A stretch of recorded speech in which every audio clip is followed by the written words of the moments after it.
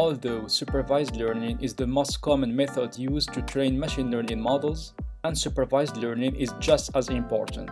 Sometimes it's even necessary. Unsupervised learning uses unlabeled data. This means that the model has to manage on its own to find recurring patterns and structures in the data. The most popular application of unsupervised learning is clustering.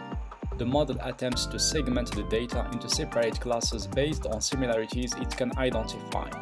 The most famous algorithm for clustering is called k-means.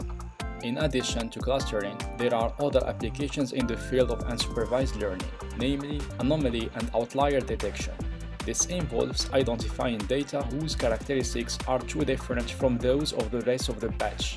The reference algorithm of this kind of application is called isolation forest. There's also dimension reduction, which consists in reducing the number of features while keeping a satisfying predictive quality. This is the case, for example, with images containing thousands of pixels, where each pixel is seen as a feature. The objective in this case is to reduce the number of pixels without losing too much essential information.